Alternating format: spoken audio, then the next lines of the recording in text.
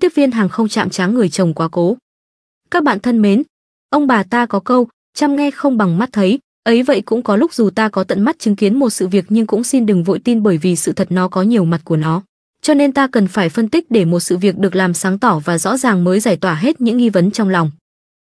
Chúng tôi xin chia sẻ với quý vị một câu chuyện có thật về một cô nữ tiếp viên trong một chuyến bay cô đã vô tình phát hiện ra người chồng quá cố của cô vẫn còn sống. Và đằng sau câu chuyện này là gì xin mời các bạn cùng theo dõi.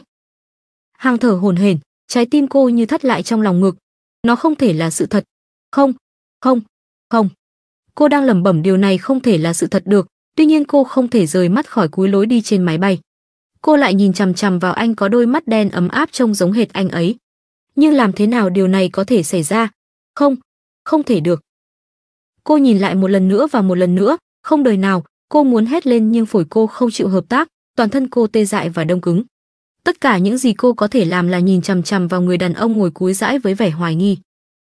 Cô quan sát đôi mắt đen quen thuộc của anh, hình dáng khuôn mặt anh, đôi bàn tay thô ráp mà cô biết rất rõ đôi bàn tay ấy đã từng ôm lấy cô một cách dịu dàng và điều này là không thể.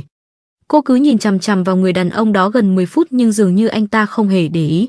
Anh ấy đang bận rộn mở hành lý và chuẩn bị cho chuyến bay trong khi đó thế giới của Hằng đã đã bị đảo lộn, đầu óc cô quay cuồng.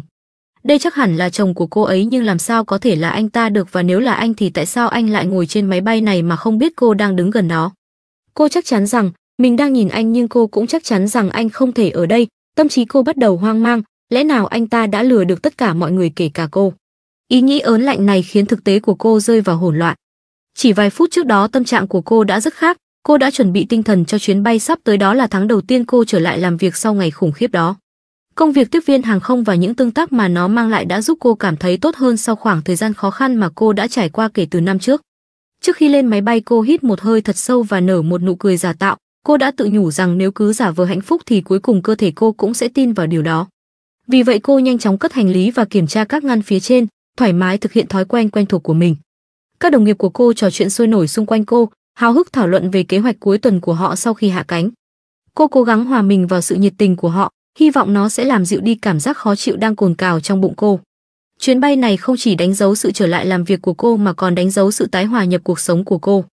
Cô cần phải tin rằng mình đã chuẩn bị sẵn sàng rằng cái bóng của năm trước đã phai nhạt đủ để cho phép cô hoạt động trở lại nhưng rồi ngay khi cô bước vào máy bay cô đã nhìn thấy anh.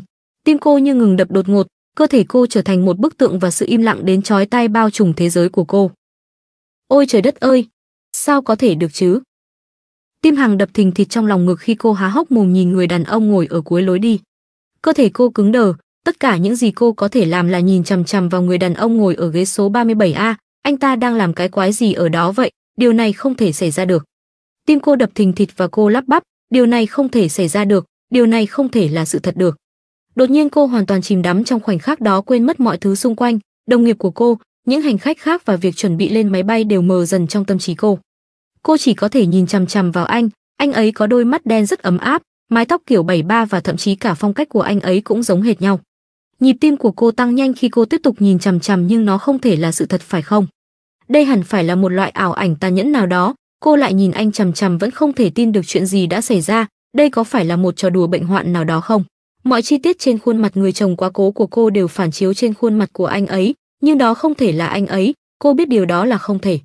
Tuy nhiên, anh ấy vẫn ở đó, ngồi cách cô vài hàng ghế, cô tiếp tục nhìn chằm chằm vào anh nhưng anh dường như không nhận ra sự hiện diện của cô. Tâm trí cô hỗn loạn cố gắng hiểu làm thế nào mà anh Minh Dũng có thể có mặt trên chuyến bay này. Đôi mắt đen ấm áp từng nhìn cô với tình yêu và sự tận tâm giờ đây nhìn ra ngoài cửa sổ mà không nhận ra sự có mặt của cô. Đôi bàn tay khỏe mạnh dịu dàng từng vuốt ve làn da cô giờ đây đang chậm chạp lật sở cuốn tạp chí máy bay. Cô cần phải chắc chắn, cô phải biết chắc chắn, lấy hết can đảm, cô quyết định đối đầu với anh. Hàng nhanh chóng chụp lấy chiếc xe chứa nước và thức ăn cho khách trên máy bay, rót một tách cà phê mới nóng hổi, sau đó cô hít một hơi thật sâu, tim đập thình thịch như muốn vỡ ra khỏi lòng ngực. Đôi chân hàng đứng không vững nữa, cô đột ngột đứng dậy và đi về phía cuối máy bay, càng đến gần cô càng có thể nhìn thấy anh rõ hơn nhưng tình thế bất khả thi khiến cô không thể tin vào mắt mình. Tôi xin lỗi vì sự chậm trễ, thưa anh, Hằng nói như lời nói của cô đông cứng trong cổ họng. Anh ngước lên và ánh mắt họ chạm nhau, chiếc cốc tuột khỏi tay, Hằng làm cà phê bắn tung tóe khắp nơi khi nó rơi xuống sàn. Chiếc áo dài của cô đã bị bẩn hoàn toàn nhưng cô thậm chí còn không nhận ra tất cả những gì cô có thể làm là nhìn chằm chằm vào người đàn ông đó. Tâm trí Hằng quay cuồng không thể hiểu làm thế nào mà Minh Dũng có thể có mặt trên chuyến bay này, còn sống và khỏe mạnh. Hằng đã ở bên cạnh quan tài của anh khi được hạ xuống đất, kể từ đó Hằng đã thương tiếc cái chết của anh mỗi ngày khiến cô rơi vào tình trạng hỗn loạn tột độ trong nhiều tháng. Cô không thể ăn ngủ, thậm chí không thể tắm rửa đàn hoàng vậy mà anh lại ngồi đây cách cô không quá một sải tay. Sự giống nhau thật kỳ lạ, từ vết xám ở thái dương cho đến những nếp nhăn nhỏ xuất hiện từ khóe mắt khi anh cười. Mọi bản năng lý trí đều mách bảo Hằng rằng người đàn ông này không thể là Minh Dũng nhưng trái tim đập thình thịch của cô đã ác đi lý trí dán chặt vào con ma sống trước mặt cô. Cô nhìn từng cm trên khuôn mặt anh, tìm kiếm ngay cả sự khác biệt nhỏ nhất, một điểm không hoàn hảo nào đó ở bóng ma của chồng cô. Tuy nhiên, suy nghĩ của cô bị gián đoạn bởi một tiếng quát lớn khiến cô thoát khỏi trạng thái tê liệt. Người đàn ông đó, người đàn ông của cô, Minh Dũng của cô bắt đầu quát với cô. Cô làm gì vậy? Sao lại nhìn tôi chăm chăm như thế? Hàng chớp mắt bối rối, cái gì đây có phải là cách anh chào đón cô không? Chuyện gì đang xảy ra vậy? Hàng đứng chôn chân xuống sàn, điều này không thể là sự thật, chắc hẳn đó là một giấc mơ, nhưng anh ta lớn tiếng một lần nữa. Cô không thấy là tôi đang ngồi ở đây sao? Trong anh ấy thực sự tức giận nhưng làm sao điều đó có thể xảy ra được? Anh không nên giận cô, trước đây anh chưa bao giờ lớn tiếng như vậy với cô. Tại sao anh lại làm như không quen biết cô? Đôi mắt của Hằng bắt đầu ngấn nước khi cô nhìn chằm chằm vào anh đông cứng tại chỗ. Đột nhiên cô cảm thấy một bàn tay rắn chắc đặt lên vai mình, đó là người bạn đồng hành của cô. Kim Thư thay mặt đồng nghiệp, tôi xin lỗi anh nhé. Cô nói, tôi sẽ dọn dẹp chỗ này ngay lập tức. Cô mỉm cười với người đàn ông và nhìn Hằng một cách nghiêm khắc, cuối cùng cũng thoát khỏi trạng thái đông cứng. Hằng nhận thức được xung quanh, mọi người đang nhìn vào cô đồng nghiệp Kim Thư của cô trông hơi tức giận và cà phê đổ khắp nơi. Cô cảm thấy xấu hổ bối rối và tổn thương, một cơn lốc cảm xúc ập vào cô. Tất cả những gì cô biết là cô cần phải ra khỏi đó vì thế cô nhanh chóng chen lấn dọc lối đi và không nói gì vội vã quay lại khu vực của tiếp viên. Ở đó cuối cùng cô cũng có thể thở lại được. Không lâu sau, sự tĩnh lặng trong tâm trí cô bị gián đoạn bởi tiếng hét lớn của đồng nghiệp Kim Thư. Em làm gì vậy? Cô giận dữ chừng mắt nhìn Hằng. Đây là lý do tại sao tôi đã cảnh báo em đừng quay lại làm việc sớm như vậy. Em cần nghỉ ngơi thêm, em chưa sẵn sàng tinh thần để làm việc đâu. Tâm trí Hằng đang quay cuồng, đồng nghiệp của cô đã cảnh báo cô về việc chưa sẵn làm việc trở lại sau cái chết của Minh Dũng. Cô tỏ ra bướng bỉnh khẳng định mình ổn và sẵn sàng quay lại làm việc nhưng bây giờ cô đã nhìn thấy người chồng quá cố của mình, hoặc ít nhất là ai đó trông giống hệt anh ấy. Cô đã bị thuyết phục như vậy nhưng nếu tất cả chỉ là dối trá thì sao? Nếu đó không phải là sự thật thì sao sự nghi ngờ và bối rối che mờ tâm trí cô khiến trái tim cô hỗn loạn. Hằng đã mất chồng mình, Minh Dũng vì một cơn đau tim cách đây gần 6 tháng, anh là tình yêu của cô từ thời trung học và họ là mối tình đầu của nhau. Minh Dũng là người đầu tiên làm tan nát trái tim cô nhưng anh cũng là người đầu tiên vượt nó sống dậy một lần nữa sau một thời gian họ quyết định đưa mối quan hệ của mình lên một tầm cao mới và hứa sẽ ở bên nhau mãi mãi. Anh sẽ cưới em Minh Hằng ạ, anh đã nói âu yếm vuốt ve lọn tóc sau tay cô trong một buổi tiệc nọ và anh ấy đã làm. 8 năm sau họ kết hôn và thề sẽ ở bên nhau cho đến khi cái chết chia lìa. Chưa bao giờ trong một triệu năm, Hằng lại nghĩ rằng cái chết đến với anh nhanh đến thế chỉ sau 10 năm chung sống, Minh Dũng bất ngờ bị đau tim và qua đời. Mọi chuyện diễn ra quá nhanh đến nỗi đôi khi Hằng vẫn cảm thấy nó như một giấc mơ. Một ngày nọ cô đã kết hôn hạnh phúc và ngày hôm sau cô lại cô đơn đau buồn trước cái chết của chồng. Hằng rơi vào tuyệt vọng sau cái chết của anh, cô thấy mình cô đơn và không có con cái. Từ chối chấp nhận thực tế mới của mình, cô gần như tự cô lập mình với phần còn lại của thế giới bên ngoài nhưng thời gian trôi qua, Hằng nhận ra mình không thể tiếp tục như thế này nữa. Em mót ngày nọ, khi nhìn mình trong gương, Hằng hầu như không nhận ra người đang nhìn mình. Sự mất mát đã gây ra hậu quả nặng nề biến cô từ một thiếu nữ vui vẻ thành một phiên bản già nua, yếu đuối của chính mình, thiếu thốn sự chăm sóc và yêu thương. Lúc đó, Hằng quyết định quay trở lại với công việc của mình và bắt đầu lại, tuy nhiên cô không ngờ rằng đúng 6 tháng sau khi chia tay chồng chuyện này lại xảy ra. Cô vẫn không thể tin được, nó gợi lại những ký ức đau buồn về việc mất đi một nửa yêu dấu của cô, người chồng mang tên Minh Dũng. Hằng à, em không nghe thấy tôi nói gì à? Kim Thư nắm lấy vai Hằng và lắc cô cố gắng đưa cô trở lại hiện tại, và cắt ngang dòng suy nghĩ của cô. Hàng bối rối và nhìn khuôn mặt nghiêm túc của Kim Thư và hỏi. Cái gì? Kim Thư trả lời, anh ấy muốn nói chuyện với em đó. Ờ ờ ai muốn nói chuyện với em? Hàng bối rối hỏi và rồi trước khi Kim Thư chỉ tay về người đàn ông ngồi ở dãy ghế cuối. Hàng đã biết đó là anh ấy, anh ấy muốn nói chuyện, Hàng không hiểu chuyện gì đang xảy ra nhưng cô quyết định làm theo. Cô muốn câu trả lời hơn bất cứ điều gì và có lẽ bây giờ cô sẽ có được chúng. Vì vậy, Cô hít một hơi thật sâu và đứng vững trước khi đến gần anh. Chào anh. Cô bắt đầu nhưng sau đó lại lắp bắp. Ừm, dạ cho em xin lỗi chuyện hồi nãy. Anh nhìn cô và cô tiếp tục nói lắp bắp từng lời. Em xin lỗi về chuyện làm đổ cà phê, em chỉ rất ngạc nhiên khi gặp anh thôi. Anh nhìn cô với vẻ mặt bối rối, và Hằng chợt nhận ra rằng anh không nhận ra cô. Dù sao anh ấy cũng chịu bắt đầu câu chuyện, anh hỏi. Anh muốn chắc chắn rằng em ổn. Anh nở một nụ cười xin lỗi với cô. Xin lỗi em. Hồi nãy anh hơi bực mình nên hơi lớn tiếng, em có sao không? Hằng sừng sốt, làm sao anh ấy có thể nói như vậy được, anh ta không biết cô là ai sao? Hay anh ấy không làm thế, cô cảm thấy hoàn toàn bối rối. Nhìn vẻ mặt của anh ta, rõ ràng anh ta không biết cô là ai và chỉ tỏ ra lịch sự mà thôi. Có phải anh ấy đã mất trí, hoặc có lẽ cô mới là người mất trí? Còn đây là một người hoàn toàn xa lạ không liên quan gì đến người chồng quá cố của cô, có lẽ tâm trí cô đang có vấn đề gì sao? Hằng biết rằng cô cần tìm ra sự thật, cô cần phải thoát khỏi cuộc trò chuyện này càng nhanh càng tốt. Cảm ơn sự quan tâm của anh, cô trả lời, cố nở một nụ cười lịch sự. Em không sao, anh có cần gì nữa không ạ? Ồ, không, không sao đâu. Anh mỉm cười rồi thò tay vào ví. Đợi một chút, anh nói khi đưa cho cô một tấm danh thiếp màu trắng, đây là danh thiếp của tôi. Tôi sợ đã làm hỏng chiếc áo của em, anh chỉ vào chiếc áo dính đầy cà phê của cô. Thư ký của tôi sẽ hoàn trả cho em khi em liên hệ với số này nhé. Tôi xin lỗi em một lần nữa. Thưa anh, dạ không sao đâu ạ. Anh không cần phải làm vậy đâu. Anh ấy vẫn kiên quyết nói, em cứ giữ danh thiếp này đi. Hằng không biết chuyện gì đang xảy ra, nhưng cô biết mình cần phải ra khỏi đó ngay lập tức. Cảm ơn anh, em sẽ giữ nó ạ. Cô nói. Hy vọng nhanh chóng kết thúc cuộc trò chuyện và bước ra phía sau. Chúc anh một ngày tốt lành, cô ấy nói thêm khi vội vã rời đi. Khi quay lại phía sau của máy bay, Hằng thở dài, cô nhìn xuống bàn tay mình và nhận thấy chúng đang run rẩy. Cô có cảm giác như mình vừa nhìn thấy ma, một hồn ma có khuôn mặt của người chồng quá cố của cô trên đó. Cô phải nói chuyện với ai đó, đây là cách duy nhất để đảm bảo rằng cô ấy không bị mất trí và cô biết chính xác phải nói chuyện với ai. Kim Thư, cô lo lắng hỏi. Kim Thư quay đầu lại và ngay khi nhìn thấy vẻ mặt của Hằng cô biết có điều gì đó nghiêm trọng đang xảy ra.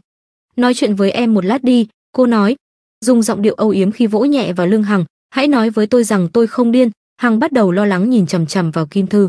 Kim Thư nhìn cô dò hỏi, không sao đâu nếu mọi chuyện quá sức với em thì nghỉ ngơi thêm một thời gian nữa đi rồi đi làm lại có gì đâu mà em gấp. Cô nói một cách bình tĩnh và nhẹ nhàng, tất cả chúng tôi đều hiểu nếu em muốn nghĩ thêm vài tuần nữa, em biết mà, cô nói thêm. Không, không, không, không phải vậy. Hàng lẩm bẩm mở mặt sợi dây chuyền của mình ra, sau đó cô lấy ra một bức ảnh cầm nó trên tay một lúc, trước khi hỏi Kim Thư. Chị nhìn xem, anh ấy trông không giống người chồng của em sao? Cô chỉ vào người đàn ông ngồi ghế 37A, rồi mở tay để lộ bức ảnh. Kim Thư nhìn cô với vẻ không tin nổi, Kim Thư giờ cũng bất ngờ và cảm thấy hoảng loạn, đầu óc cô cũng hoang, miệng cô ấy há ra một chút rồi nói. Nhìn này Hằng, đó là... Kim Thư chỉ mới bắt đầu nói khi cô liếc nhìn bức ảnh nhăn nheo trên tay Hằng. Ôi trời ơi! Cô thở hồn hển che miệng vì sốc, người đàn ông đó trông giống hệt người chồng của em, làm sao có thể xảy ra điều đó được? Đó là điều em đang nghĩ, Hằng trả lời, lặng lẽ tự hỏi, người đàn ông giống chồng cô là ai? Sự nhẹ nhõm tràn ngập Hằng, khi biểu hiện của Kim Thư xác nhận rằng cô nhận ra sự giống nhau kỳ lạ, cô ấy cũng đã nhận thấy. Đó không phải là trí tưởng tượng của riêng cô, người đàn ông đó thực sự trông giống người chồng quá cố của cô nhưng sự thật vẫn là, anh không thể là chồng cô được. Cô nhìn chằm chằm vào tấm danh thiếp trên tay mình, tấm danh thiếp anh đã đưa cho cô nó mang tên Minh Nam, bằng chữ im đậm, cho biết anh là giám đốc điều hành của một công ty nhân sự và tuyển dụng. Nó khác xa với những gì Minh Dũng của cô đã làm, anh luôn đam mê công tác xã hội. Điều này đã đưa anh đến làm việc tại một nơi tạm trú dành cho những người từng bị kết án, hỗ trợ họ tái hòa nhập xã hội một cách suôn sẻ nhất có thể. Người đàn ông này, Minh Nam rõ ràng không phải là chồng cô. Trừ khi, Hằng cười thầm nghĩ, nếu không thì anh ta đã trải qua một sự biến đổi mạnh mẽ và giả chết để bắt đầu một cuộc sống hoàn toàn mới, dưới một danh tính mới. Ý tưởng đó tưởng chừng như quá xa vời, nhưng giữa lúc cô đang bối rối lại mang đến một khoảnh khắc hài hước. Em không hiểu, Hằng thì thầm giọng cô run rẩy. Có phải em đã tưởng tượng ra cái chết của Minh Dũng bằng cách nào đó không chị? Anh ấy đã ở ngoài đó suốt thời gian em để tan anh ấy à? Nước mắt cô chợt trào ra, trào ra. Kim Thư nhẹ nhàng bóp vai cô, an ủi. Em nói đúng đó Hằng, nhưng cần phải có một lời giải thích hợp lý, em cần phải nói chuyện với anh ấy, có lẽ anh ấy biết điều gì đó có thể giải thích được điều này. Trước khi Hằng kịp trả lời, Kim Thư đã đẩy cô ấy ra lối đi, chị sẽ đi với em. Cô nói chắc chắn. Hằng rất biết ơn sự hỗ trợ vì cô không biết phải làm gì, với nụ cười lo lắng, cô bước tới dãy ghế của anh ấy cúi xuống cạnh hành khách bí ẩn. Cô nhìn chằm chằm vào khuôn mặt anh cố gắng tìm từ ngữ, nhưng không có âm thanh nào phát ra. Tất cả những gì cô có thể làm là nhìn chằm chằm vào người đàn ông đang mang khuôn mặt của người chồng đã chết của mình. Tôi có thể giúp gì cho em không? Cuối cùng anh cũng lên tiếng sau một khoảng im lặng kéo dài đầy lúng túng. Kim Thư cảm nhận được sự do dự của Hằng và bước vào. Vâng anh có thể giúp đấy. Chúng tôi xin lỗi vì sự xâm phạm này, nhưng tôi e rằng anh có nét giống một cách kỳ lạ với người chồng của đồng nghiệp của em. Lúc nãy, khi gặp anh nó rất sốc, bây giờ nó nó vẫn còn đang hoang mang. Hằng cảm thấy mình co rúm lại khi biết rằng cô chính là người đồng nghiệp đó, và có lẽ anh ấy đã nhận ra. Cô không muốn tỏ ra ngượng ngùng hay chó ngợp nên cô lấy hết can đảm và hắn giọng. Xin lỗi cho em hỏi anh có từng quen biết ai tên Minh Dũng không anh? Cô ấy mạnh dạn hỏi. Người đàn ông nhìn Hằng một lúc và Hằng nghĩ rằng anh ta có thể nói là có, nhưng thật không may anh ta đã không nói vậy. Không, anh không biết. Anh trả lời. Hằng lắp bắp đáp lại. Em rất xin lỗi bởi vì anh trông giống hệt người chồng quá cố của em. Em biết đó có thể chỉ là một sự trùng hợp ngẫu nhiên khó có thể xảy ra, nhưng thành thật mà nói em đang tìm kiếm lời giải thích. Đôi mắt nhân hậu của Minh Nam toát lên sự đồng cảm, anh không thể tưởng tượng được việc này khó khăn đến thế nào đối với em, anh trả lời một cách thông cảm. Anh ước gì anh có thể đưa ra cho em nhiều câu trả lời hơn, nhưng không, anh chưa bao giờ nghe đến cái tên Minh Dũng, chắc hẳn tất cả điều này đều có cảm giác siêu thực. Anh ấy nói thêm, nếu anh có thể giúp em được gì, xin em vui lòng liên hệ với anh. Hàng đánh giá cao sự hiểu biết của anh ngay cả khi nó không mang lại câu trả lời mà cô tìm kiếm. Cuộc gặp gỡ để lại cho cô nhiều câu hỏi hơn bao giờ hết, và bí ẩn xung quanh người đàn ông trông rất giống người chồng quá cố của cô ngày càng sâu sắc. Phần còn lại của chuyến bay là một khoảng thời gian mờ mịt và dai dẳng. Đối với Hằng, cô nóng lòng muốn máy bay mau đáp xuống vì còn một người cuối cùng cô cần gặp để tìm câu trả lời cho vấn đề bí ẩn này là mẹ chồng của cô. Về đến nhà, Hằng nhanh chóng thu dọn đồ phóng xe thẳng đến nơi cô muốn đến, không có thời gian để mất, cô ấy cần câu trả lời. Tới nơi, cô sốt ruột bấm chuông, chỉ sau vài giây, bà Phấn mở cửa cho Hằng vào nhà. Con xin lỗi mẹ vì đến muộn thế này. Hằng bắt đầu. Tại con cần hỏi mẹ về một chuyện quan trọng, cô đi thẳng vào vấn đề, bà Phấn mỉm cười ấm áp và trấn an Hằng rằng bà không cảm thấy bị phiền phức. Để mẹ làm cho con một tô bún bò nhé. Bà nói với một chút buồn bã, món bún bò mà Minh Dũng từng yêu thích, Hằng đồng cảm với nỗi đau của bà Phấn khi biết bà vẫn còn đang đau buồn về chuyện con trai đã mất của mình. Một cách khó khăn, Hằng hắn giọng và hít một hơi thật sâu, cô giải thích với bà Phấn về người đàn ông trên chuyến bay có gương mặt giống y chang Minh Dũng và đưa cho bà tấm danh thiếp làm bằng chứng. Mắt bà Phấn rưng rưng và Hằng có thể nhìn thấy vẻ lo lắng trên nét mặt bà mẹ. Nghĩ sao hả mẹ? Hằng hỏi. siết chặt tay bà, con nghĩ có chuyện gì đó mà mẹ khó nói nhưng con cần câu trả lời mẹ ạ. Bà Phấn hít một hơi thật sâu và bảo Hằng lấy một cuốn anh bum từ ngăn kéo đầu giường của bà. Hằng làm theo chỉ dẫn và cả hai ngồi xuống bàn bếp, bà Phấn mở cuốn anh bum ra và Hằng không thể tin vào mắt mình. Chuyện gì đang xảy ra vậy trời? Nước mắt tuôn rơi trên mắt Hằng và cơ thể cô run rẩy khi nhìn thấy hai đứa trẻ sinh đôi trong ảnh. Một trong số đó cô nhận ra từ những bức ảnh hồi bé của Minh Dũng, nhưng người còn lại thì không quen thuộc. Cô không thể hiểu được những gì mình đang nhìn thấy, Minh Dũng có anh em sinh đôi không? Bà Phấn giải thích rằng, những đứa trẻ trong ảnh là Minh Dũng và anh trai song sinh của cậu. Hằng ngạc nhiên nhưng lắng nghe bà Phấn nói tiếp, tiết lộ thông tin mới khiến Hằng bối rối gần 15 phút. Bà Phấn sau đó đã chia sẻ một sự thật đau lòng, khi phát hiện mình đã mang thai ngoại ý muốn, người bạn trai đã kiên quyết chối bỏ trong khi bà quyết định giữ lại cái bảo thai kia. Đau lòng hơn khi phát hiện mình có cặp một song sinh, bà biết mình không thể một mình nuôi hai đứa con trai nên bà đã đưa ra quyết định đau lòng là để một trong số chúng ở trại trẻ mồ côi. Hằng không thể tin được, nhưng cô không thể tưởng tượng được hoàn cảnh khó khăn mà bà Phấn phải đối mặt. Cô cảm thấy đồng cảm với bà, hiểu rằng mẹ chồng cô đã làm những gì cô tin là tốt nhất cho tương lai của đứa trẻ. Khi nước mắt chảy dài trên khuôn mặt bà Phấn, Hằng cảm thấy bị dằn xé giữa sự tức giận vì bí mật được giữ kín và sự thương cảm đối với quyết định khó khăn của mình tình yêu thương của bà Phấn dành cho các con trai, được thể hiện rõ ràng ngay cả trong lời thú nhận đầy tiếc nuối. Với những suy nghĩ tràn ngập sự quan tâm dành cho Minh Nam, Hằng không khỏi hy vọng anh lớn lên sẽ có một cuộc sống tốt đẹp hơn thời thơ ấu của Minh Dũng. Cầm tắm danh thiếp của Minh Nam, cô quan sát những dấu hiệu cho thấy sự nghiệp thành công của anh, cho thấy anh đã vượt qua mọi khó khăn trước đó. Hằng tự hỏi, liệu Minh Nam có biết anh được nhận làm con nuôi hay không, và liệu anh có muốn gặp mẹ ruột của mình không, và có lẽ, thậm chí cả Hằng nữa. Với tư cách là chị dâu của anh hay không, tâm trí Hằng quay cuồng với tiết lộ gây sốc về việc Minh Dũng có một người anh em sinh đôi. Cô nhìn bà phấn nước mắt đang chảy dài trên khuôn mặt, Hằng nhẹ nhàng siết chặt tay mẹ chồng, con nghĩ rằng mẹ đã rất khó khăn khi quyết định như vậy. Bà phấn gật đầu, dùng khăn giấy lau mắt, mẹ luôn tự hỏi điều gì đã xảy ra với nó. Không ngày nào trôi qua mà mẹ không nghĩ đến nó và cầu nguyện nó sẽ khôn lớn và thành tài, bà phấn nói giọng đầy cảm xúc. Trái tim Hằng đau nhói vì mẹ chồng Hằng do dự trước khi hỏi mẹ có nghĩ rằng anh Minh Nam biết mình được nhận nuôi không. Bà phấn lắc đầu, mẹ không nghĩ là nó biết, mà giờ mẹ muốn gặp nó nếu nó sẵn lòng tha thứ cho mẹ. Hằng gật đầu, con nghĩ chúng ta nên liên lạc với anh ấy, có lẽ chúng ta có thể mời anh ấy đến ăn tối, bà phấn mỉm cười trong nước mắt. Đó là một ý tưởng hay, mẹ rất muốn gặp lại nó, mẹ rất vui khi biết nó trưởng thành và thành tài. Sau đó Hằng đã soạn một email rất kỹ gửi cho Minh Nam. Để giải thích tình hình cô đưa vào những bức ảnh của Minh Dũng và thông tin chi tiết về bà Phấn với hy vọng khơi dậy sự tò mò của Minh Nam.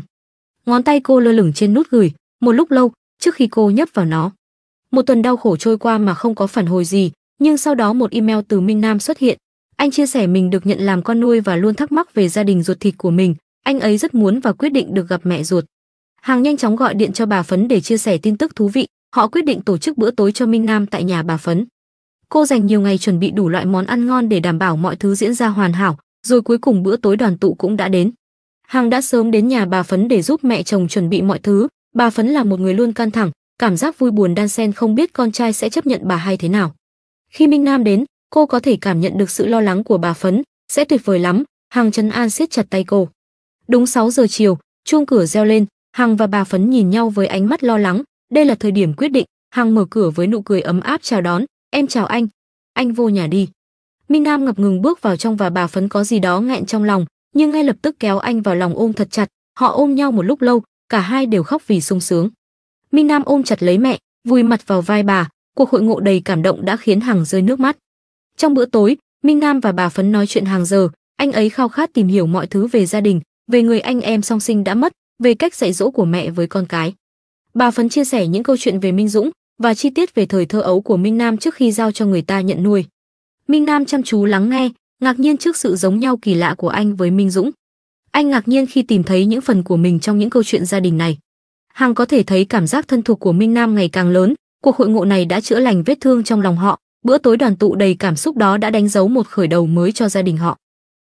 Minh Nam trở thành người thường xuyên có mặt tại nhà bà Phấn, bù đắp cho khoảng thời gian đã mất.